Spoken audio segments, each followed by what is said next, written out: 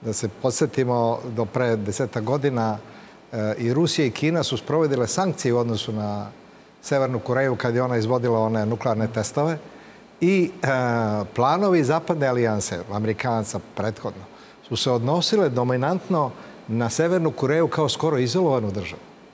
A sad vi s ovim potpisom imate Rus, Rusiju direktno na čelu, na granici Severne Koreje.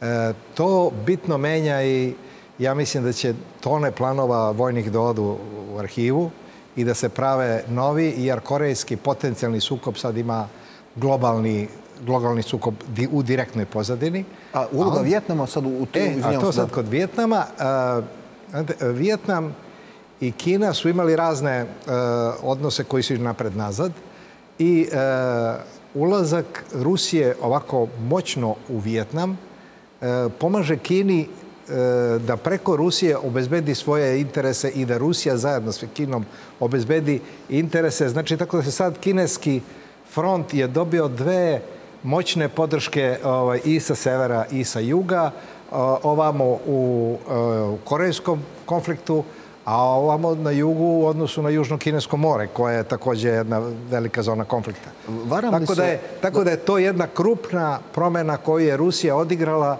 E, pitanje je zašto sada? Pa sad kad ste me napali, e, znači želeli ste, gledajte, evo sad, evo imate Rusiju tamo da je dovučen isti imali.